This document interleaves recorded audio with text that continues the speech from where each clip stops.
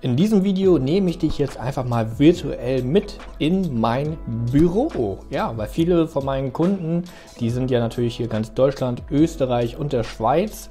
Und natürlich aus der Schweiz oder aus Österreich jetzt hier nach Hannover zu kommen, zu uns ist natürlich ein bisschen weit.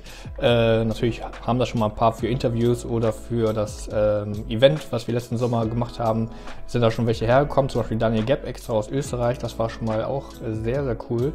Falls du da noch mal ein bisschen was sehen willst, hier ist ganze Reihe bei mir auf dem YouTube-Kanal mit zum Thema Kunden-Events. Da findest du einiges.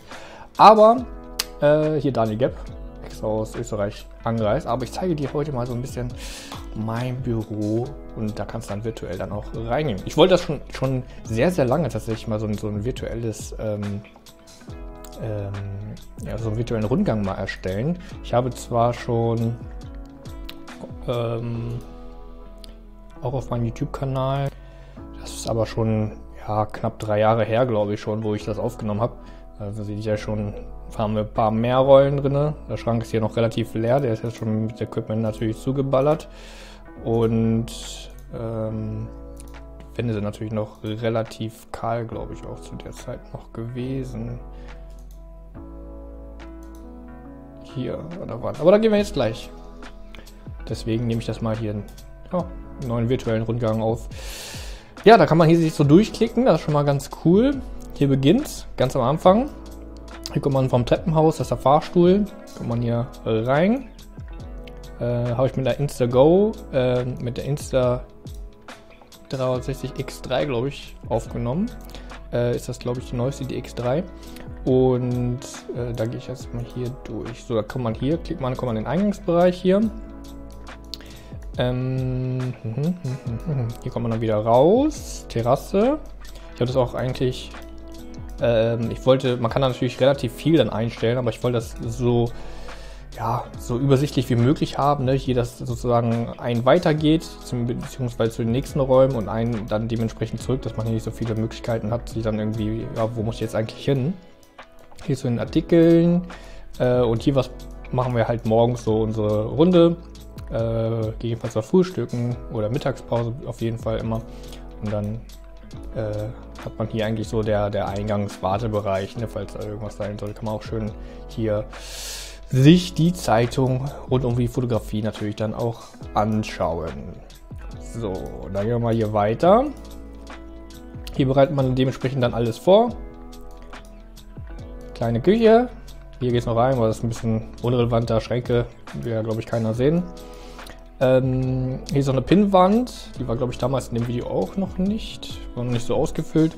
Haben wir damals dann jetzt hier angefangen, auch schon zwei oder drei Jahre her, dann immer so ein kleines Fähnchen hinzumachen auf der Karte Deutschland, Österreich oder Schweiz, wo unsere Kunden sozusagen, wo unser Kunde gerade ist, den wir neu gewonnen haben.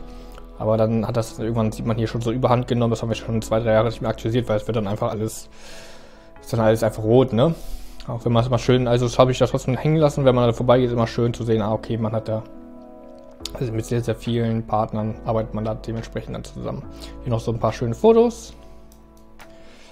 Und hier auch, das ist auch, glaube ich, komplett neu, das war ja damals im Video noch nicht. Unsere liebe Kundin Janet Raupert, Fotoschulinhaberin. Hier Vincenzo Trainer, die waren dann hier im Büro, da haben wir ein schönes Interview aufgenommen. Die Interviews findet man natürlich selbstverständlich auch auf dem YouTube-Kanal. Ne? Da kann man hier dann einfach die, die, die Interviews, die meisten waren dann auch im Studio, kann man sich dann dementsprechend hier ansehen. Äh, ich glaube, da muss man dann extra hier nochmal draufklicken, um noch mehr zu sehen. Da müssten noch mehr dann dementsprechend sein. So auch mit Deko, schönen alten Kameras nochmal. Dann haben wir angefangen auch immer diese Kunden-Awards, die wir abgeben, haben wir immer zwei Stück gemacht. Einen für den Kunden, einen für uns, damit wir einen im Büro hinstellen. Komme ich gleich noch dazu, haben wir dann nur aufgehört irgendwann. Äh, nur noch einen für den Kunden erstellt, weil sonst liegen die natürlich überall, überall nur noch im Büro rum, weil es dann relativ viele werden. Teilweise dann auch schon als irgendwelche Stopper oder sowas benutzt. Das muss ja nicht mehr sein. Ne? So, hier, wie schon gesagt, alles schön. Ich mag das, wenn es so richtig groß sind. Ich glaube, es sind 2,5 Meter, bin ich der Meinung. Sonst kriegt man ja, hier sieht man es, glaube ich, das sind die, die 1 Meter oder 1,5 Meter, sind mir immer zu klein. Äh, wenn ich ein Shooting mache, ich mache es lieber dann lieber auf so 2,5 Meter. Das habe ich ein bisschen mehr, ja, ein bisschen mehr Freiraum fürs Model, kann mich wieder ein bisschen mehr bewegen und habe auch nicht so viel zum Nachbearbeiten. Finde ich ein bisschen angenehmer, weil es einfach, wenn es natürlich breit und groß ist. Eigentlich unser Meetingraum hier. Da halten wir dann dementsprechend Meetings oder wenn wir äh, irgendwelche Form von äh, Gästen dabei haben. Hier der Schrank natürlich jetzt dementsprechend schon, ja, man kennt es von der Foto- und Filmmacherei, wenn man zu viel Equipment dann hat, dann wird alles voll. Aber erst kommen die Kunden und dann das Equipment hier merken. Also sich den Equipment-Kasten vollhauen kann man dann später auch noch, bevor es dann, dann noch rumgammelt. Das kann man dann später auch noch machen. Und ja, dann war es mir hier, kann man ja nur vier in diesen einen Bereich hier erstellen. Habe ich dann mir einfach ein zusätzliches hier gekauft und habe es hier hingestellt. Dann kann ich das in diese Richtung, also hier in diese Richtung dann, dann rausrollen.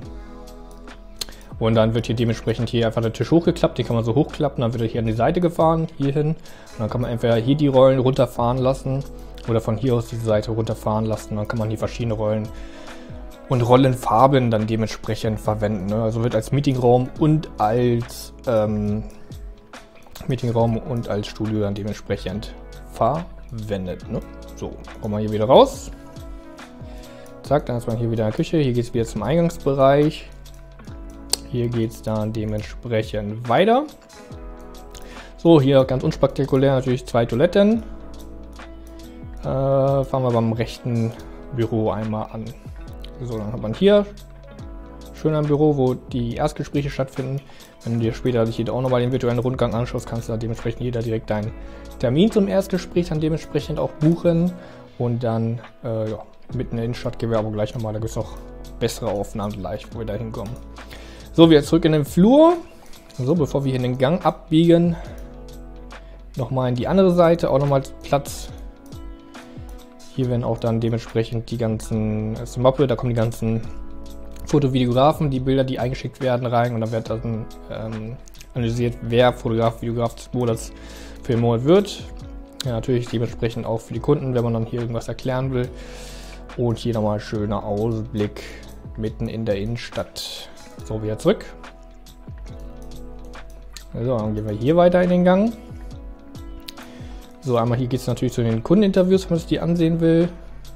Und hier ein paar natürlich, die dann dementsprechend schon hier waren von den Kunden, äh, wo wir dann dementsprechend die Interviews geführt haben. Da sieht man aber auch dann fleißig hier auf dem YouTube-Kanal dann dementsprechend hier die Interviews. So, hier.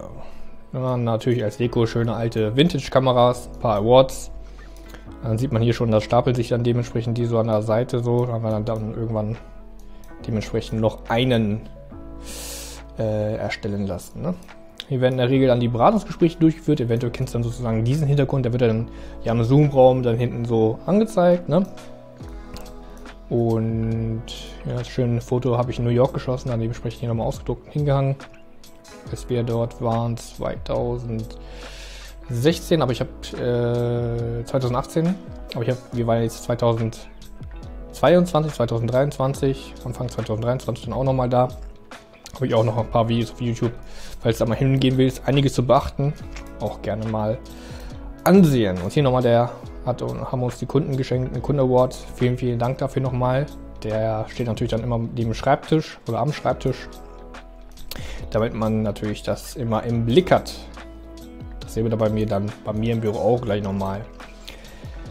So, dann geht's hier weiter. Hier, wie gesagt, stapeln die sich schon. Ja, bevor wir zu mir gehen, gehen wir hier nochmal in den Backoffice-Bereich und wo alles gedruckt wird. Hinein, hier kommt man nochmal in den Innenhof für die Raucher, aber niemals rauchen. Wenn du Raucher wärst und bei uns wärst, dann kommt man hier halt in den Innenhof. Aber war natürlich, weil wissen wir alle, gar nicht erst anfangen zu rauchen. So, wir, hier haben wir immer schön noch die, äh, das äh, Firmenlogo von mir reingepackt. Mit so einem, so einem ich finde das so diesen ja, milchigen, ähm, mit, mit, dieser milchigen Folie eigentlich re relativ schick. Wir hatten noch überlegt, ob wir es dann dementsprechend äh, zur Straße hin, ähm, also in der Innenstadt, auch noch mal hinpacken. Aber mir war eigentlich der Ausblick dann doch wichtiger, so dass man so kompletten Ausblick äh, raus hat.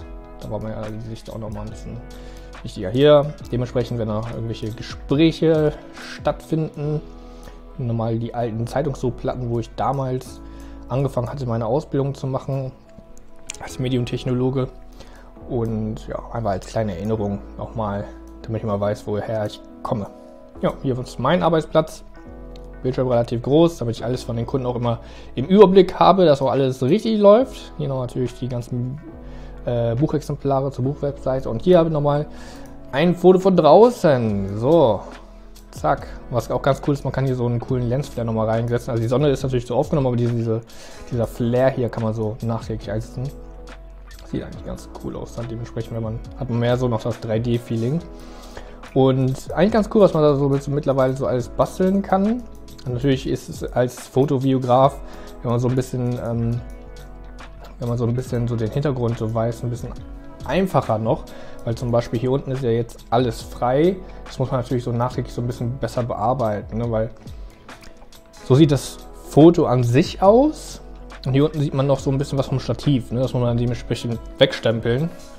Oder je nachdem, wie du das bei dir in deinen, äh, deinen Workflow eingebunden hast. Und natürlich das Bild kann man natürlich per Lightroom oder Photoshop natürlich noch mal ein bisschen besser machen. Klar, man sieht auch hier ist jetzt natürlich nicht das vollumfänglichste High-Quality-Bild, aber ich sag mal so dafür, dass man das sehr schnell auf der Webseite auch laden kann, den virtuellen Rundgang und gleichzeitig äh, auch so flüssig alles läuft, muss man natürlich auch irgendwo dann auch Daten, Größen, Abstriche machen, damit der Interessent auch natürlich auch sehr schnell durchgehen kann. Ne? Und ja, das eigentlich soweit dafür, dass wenn jetzt, sage ich mal, die Kunden von uns ein bisschen weiter wegkommen und mal sehen wollen, wie, sie, wie das Büro aussieht, dass man hier dementsprechend auch mal ja, virtuell, auch wenn es so virtuell ist, aber trotzdem mal hier durchgehen kann und sich das alles mal in Ruhe ansehen kann. Ne? Also ich bin da schon das Büro sehr stolz, mittlerweile schon sehr gut eingerichtet, gefällt mir einfach. Und wenn ich da jeden Tag immer reingehe, äh, ja, bin ich da einfach mega happy, einfach hier immer, dass hier alles schon mal so weit und so gut aufgerüstet ist. Freut mich. Mega nice. Ja, wenn du dir selber mal ansehen willst, kannst du einfach gerne mal auf die Webseite von mir gehen. Das ist, glaube ich, relativ weit oben dann schon. Kannst du hier den virtuellen Rundgang einfach mal starten, hier ein bisschen durchgehen, dir in Ruhe ansehen und ja, dann hoffentlich äh, freut sich dann auch so sehr wie mich, hier einfach mal in den Hallen so ein bisschen herumzulaufen und sich anzuschauen. Und ja, hoffentlich hat dir das Video gefallen. Wie gesagt, wenn du weitere Interviews und sowas sehen willst, einfach sehr gerne einmal auf den YouTube-Kanal gehen. Hier kannst du auch die ganzen Interviews die einmal ansehen. Sehr gerne natürlich dann dementsprechend auch abonnieren. Kommen auch dreimal die Woche neue Videos und dann freue ich mich auf deine Nachricht und bis dann.